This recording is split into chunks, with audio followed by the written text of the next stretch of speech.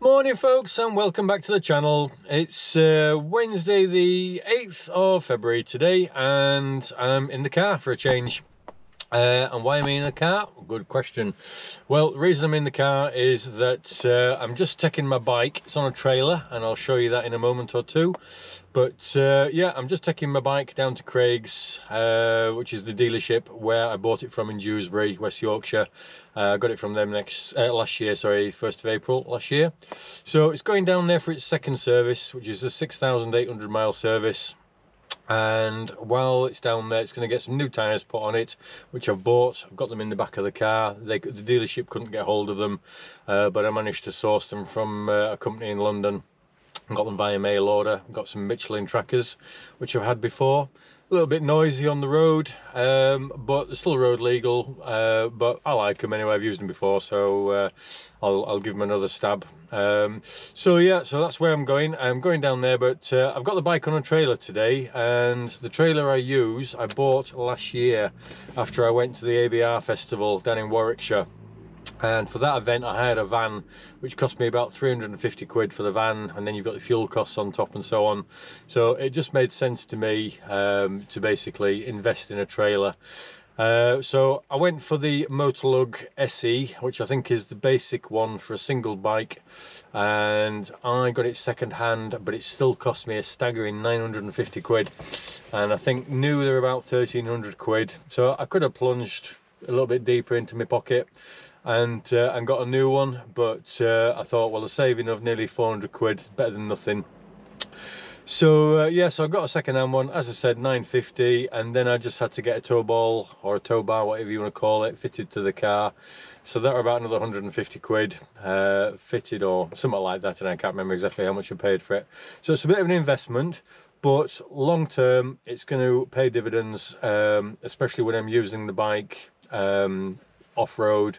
Rather than riding it there I might as well just stick it on the trailer take it there stick all my gear in the car get changed when I arrive into all my uh, off-road biking gear and then go for a little bit of play in the mud and so forth. So that's the idea and obviously I'm, I am booked into the ABR festival again this year as well. Um, camping there for a few nights. So again I'm taking the bike on the trailer so I can do the trails down within the grounds of Ragley Hall. So I've got the bike connected to the car. I'm going to go for a little drive. I've got a camera rigged up on the back window. I've cable tied it to the rear wiper just in case it falls off but hopefully it won't. And i just want to show you how stable the bike is um, when i'm uh, towing it. It does wobble about a little bit or the back well i say it wobbles. The bike doesn't wobble. The trailer bounces a little bit because it is a light trailer but um, but the bike is sound as a pound it's secure as anything. So anyway less of the talking I'll get moving and I'll show you for yourself just what it's like and how well it performs on the road. Okay I'll back you in a moment folks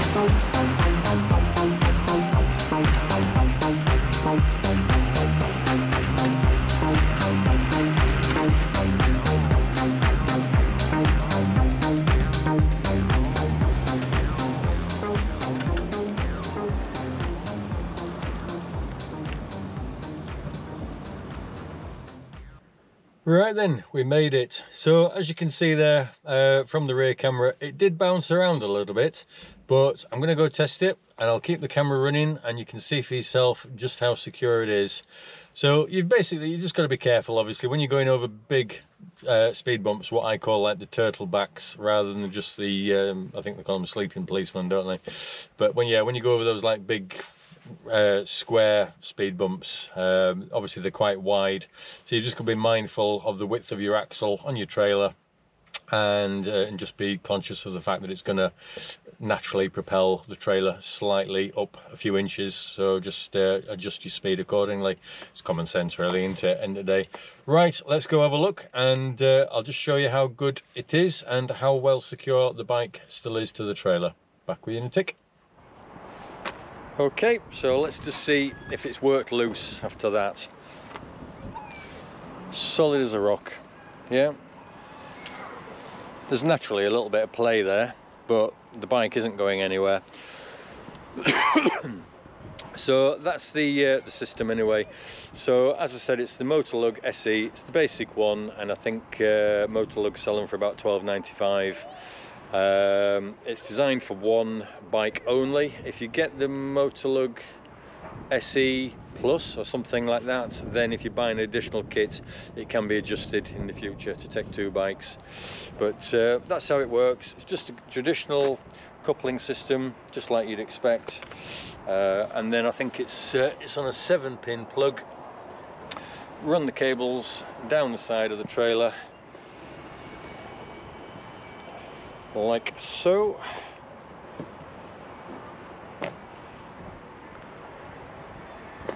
So cables going either side, obviously just to your uh, to your light setup, where you've got what you'd normally expect: fog light, brake light, tail lights, indicators, etc. And what else can I show you? Yeah, so the beauty of this trailer, although there are probably cheaper trailers out on the market, excuse me, although there are cheaper trailers out on the market I'm sure I like this system because it can simply be folded. It completely dismantles. I'll just come underneath here. So there are pins here. So basically you drop a pin down uh, through this bar and then you've got like an R clip which clips it in place. So there's two for each rear arm. And there are or there is rather there's a center bolt there if you can see that which uh, once you've straightened these two sections of the frame out and you slot in this axle and again there's a bolt there then you have another R clip there and you've got another R clip just uh, in the center there which holds all that in place. Um, they don't recommend that uh, you tow the trailer without any weight on it so it's got to be uh, laden with something and that's I think just in order to keep the R clips in place. But uh, yeah but it works a treat. And uh, that's it. So simple enough video. And I just put a little bit of sacking just over the top just to protect the seat Simple but effective. Yeah, so that's the basic uh, assembly system uh, and the whole thing basically folds down and it folds down so small and disassembles that um, once I've dropped the bike off I'm literally just going to put the trailer in the back of the car. Uh, it'll fit in obviously I mean I've got in an estate car so it'll fit in that easily dismantled. But even if you've just got like a normal hatchback something like a Ford Fiesta um, the relative individual components um, disassemble so much that they will literally just go in a conventional boot of you know a, a small hatchback.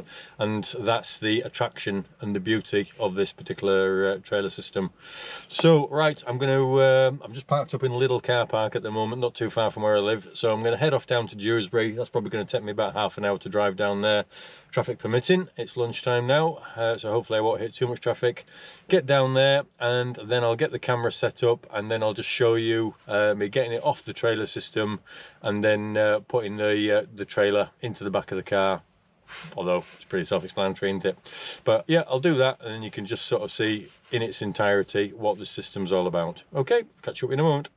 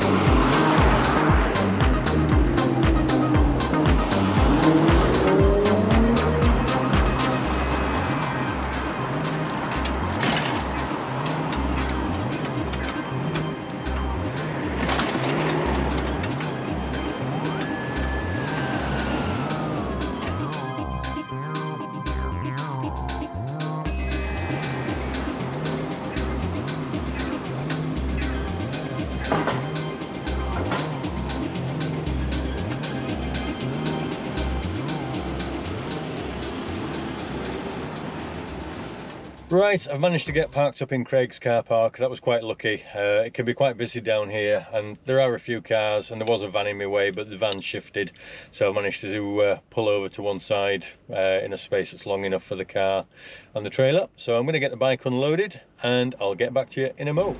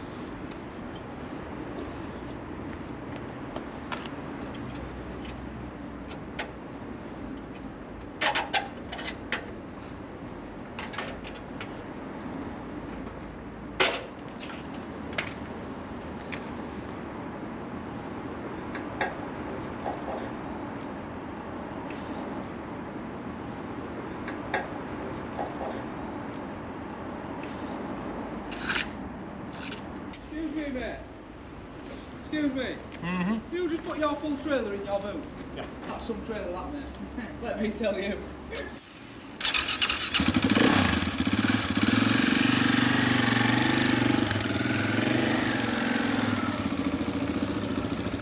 So there you go. That is just how simple it is to use this trailer and uh, it fits in the back of the car. It certainly created some interest with some of the customers down at Craig's. They just couldn't believe I'd dismantled it and then just thrown it in the back of the car.